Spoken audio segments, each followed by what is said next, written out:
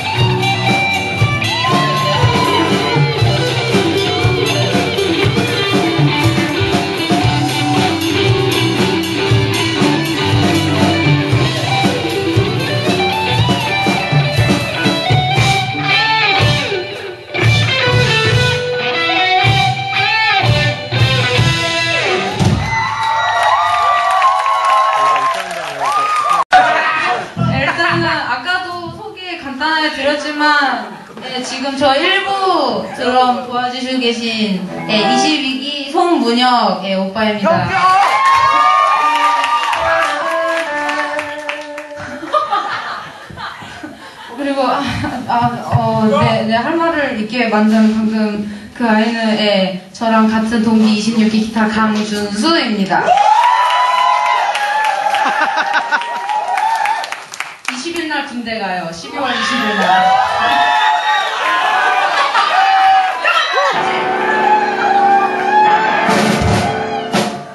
안녕.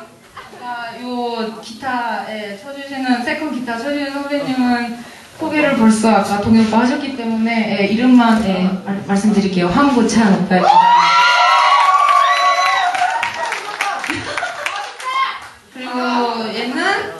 역시 같은 동기 베이스 26기 베이스 이승민입니다.